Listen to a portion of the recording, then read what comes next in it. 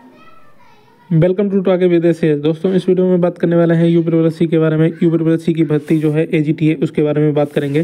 बहुत से छात्र कमेंट करके पूछ रहे थे कि इसका एग्ज़ाम कब तक हो सकता है और कितना टाइम मिलेगा इसकी तैयारी के लिए। तो इसके बारे में क्या अपडेट है, आप लोगों को जानकारी दी जाएगी। साथ ही साथ, आचार संहिता लागू हो चुकी है और भर्तियों पर इसका क्या फ़र्क पड़ेगा, इसके बारे में जानकारी दी जाएगी। और यूपीपीएससी की जानकारी दी जाएगी ऑफिशियल नोटिस के साथ। यहाँ पर राज्य सेवा STA विज्ञापन जो आने वाला है, इसकी क्या सूचना है और आयोग का नया कैलेंडर जो आने वाला है, उसकी क्या जानकारी है?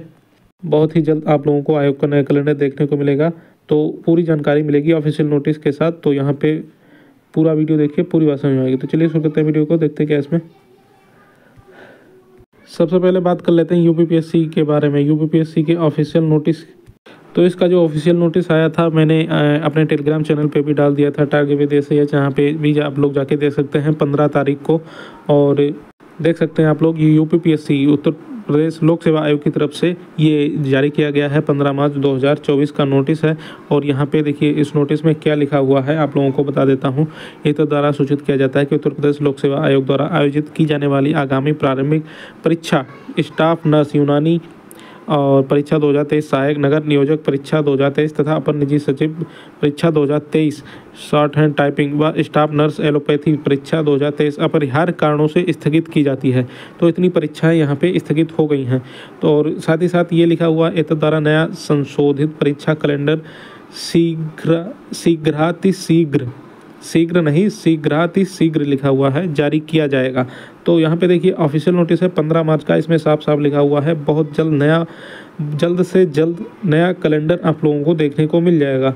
और इसी में आप लोगों को जो एस का आपका विज्ञापन आने वाला है, उसकी भी जानकारी मिल जाएगी, ठीक है? लेकिन इससे रिलेटेड आज न्यूज़पेपर में भी खबर आई है और मैंने ये टेलीग्राम पे डाल दिया था जो भी न्यूज़पेपर में न्यूज़ आई थी तो यहाँ पे आप लोगों को बता देते हैं। देखिए यहाँ पे लिखा हुआ है कि पेपर लीक की एक घटना ने बिगाड़ दिया उत्तर प्रदेश लोक सेवा आयोग का परीक्षा कैलेंडर। तो पूरा कैलेंडर जो है वो अस्त व्यस्त हो चुका है क्योंकि आर ओ का पेपर ए, ये आपका लीक हो गया था, उसके बाद छात्र धरना करते रहे, धरना प्रदर्शन करते रहे और फिर छात्र पीसीएस की तैयारी नहीं कर पाए और पीसीएस का एग्ज़ाम भी पोस्टपोन करना पड़ा, जो प्री का लगा हुआ था आपका मार्च महीने में। और इसी वजह से जितनी भी बात की परीक्षाएँ हैं, वो सभी स्थगित कर दी गई। ये देखिए, यहाँ पे लिखा एपीएस परीक्षा स्थगित करने का विरोध और आयोग पर उठे सवाल। और स्टाफ नर्स एवं सहायक नगर नियोजक की मुख्य परीक्षाओं का भी टलना तय अब तक पाँच स्थगित। तो यहाँ पे जो प्री परीक्षा जो है स्थगित हो गई है R O A R O और पी सी एस की तो अब इनकी मेन परीक्षा भी स्थगित करके थोड़ा बहुत आगे बढ़ाई जाएगी, ठीक है? तो इस वजह से पूरा का पूरा कैलेंडर है, वो अस्त व्यस्त हो चुका है और अब एक फिर से नया कैलेंडर जारी किया जाएगा साफ़ साफ़ ऑफिशियल नोटिस में लिखा हुआ है। और बात करें नई भर्तियों की तो देखिए, यहाँ पे लिखा हुआ है, आचार संहिता में फंसी आयोग की पाँच भर्तियाँ।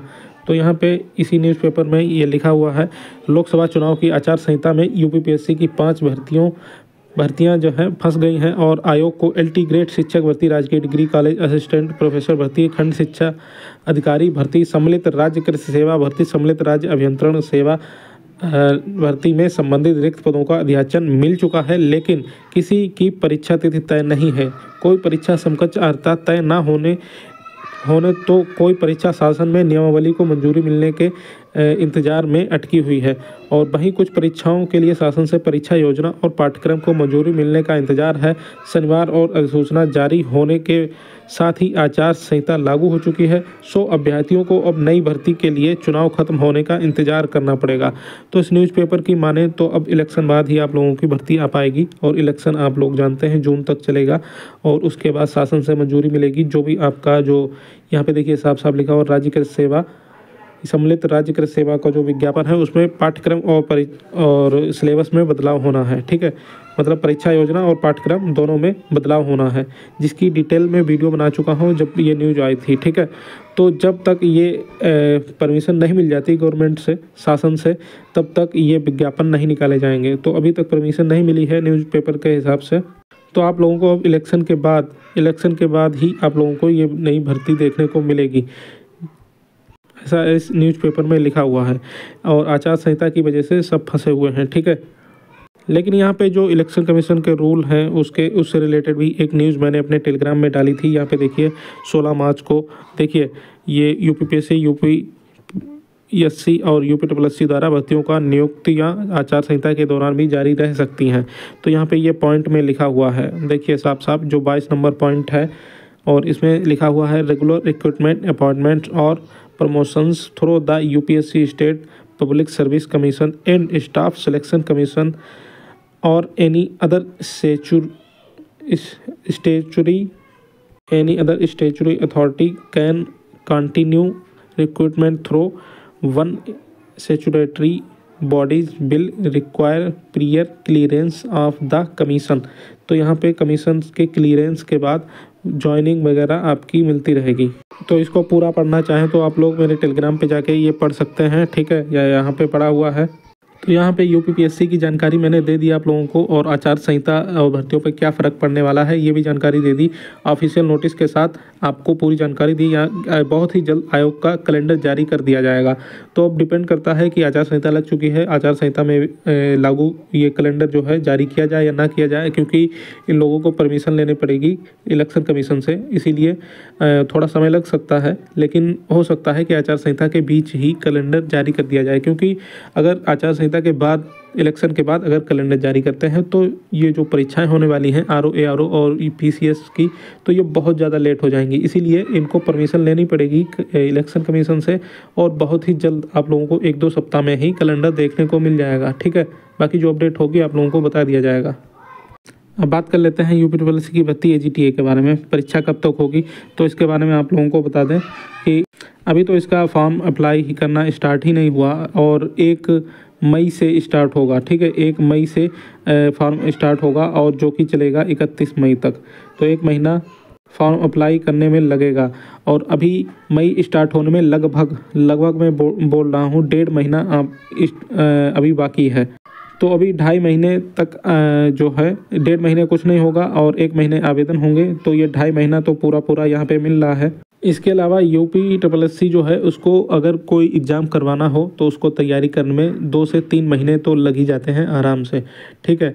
तो मई के बाद, जून, जुलाई, अगस्त तक इनको तैयारी करने में लगेगा कोई भी एग्ज़ाम की।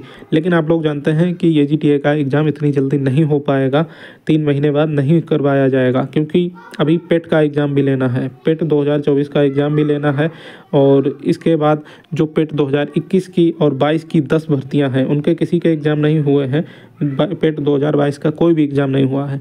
और ये तो पेट 2023 से आई है भर्ती। तो अभी इनसे पहले आई हुई भर्तियाँ हैं और वो भी ये एजीटीए है, आपकी सातवें नंबर की भर्ती।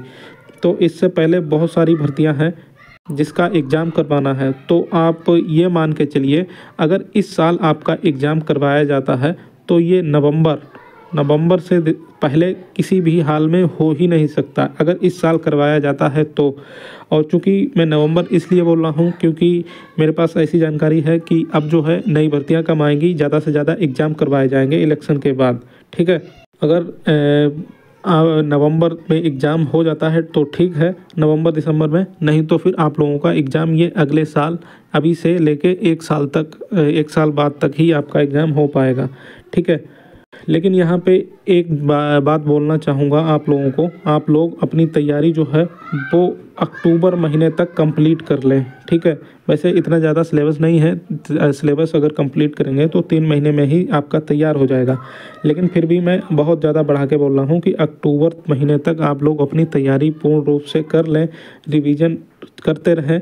बाकी जो आयोग के ऊपर डिपेंड करेगा और जो भी न्यूज़ अपडेट होगी, मैं आप लोगों को समय समय पर बताता रहूँगा। तो यहाँ पे मैं यही बोलना चाहूँगा, कोई डायरेक्ट डेट नहीं बता रहा हूँ मैं तो आप लोगों का एग्ज़ाम अक्टूबर के बाद, अक्टूबर के बाद ए का एग्ज़ाम कभी भी हो सकता है। अक्टूबर से पहले नहीं होगा किसी भी हालत में, और अक्टूबर के बाद कभी भी कभी भी का मतलब आप लोग जानते हैं यू पी कभी भी एग्ज़ाम लेता है, एक साल, दो साल, तीन साल ऐसे भी लगा देता है, और अगर करवाना होता है तो जल्दी करवा लेता है। तो आप लोग जो अपनी परीक्षा की जो तैयारी है वो अक्टूबर महीने तक कंप्लीट कर लें। उसके बाद जो भी अपडेट होगी आप लोगों को बता दिया जाएगा, ठीक है? तो ये हो गई पूरी जानकारी और ऐसे लेटेस्ट न्यूज़ अपडेट पाने के लिए चैनल को सब्सक्राइब कर लीजिए। नमस्कार।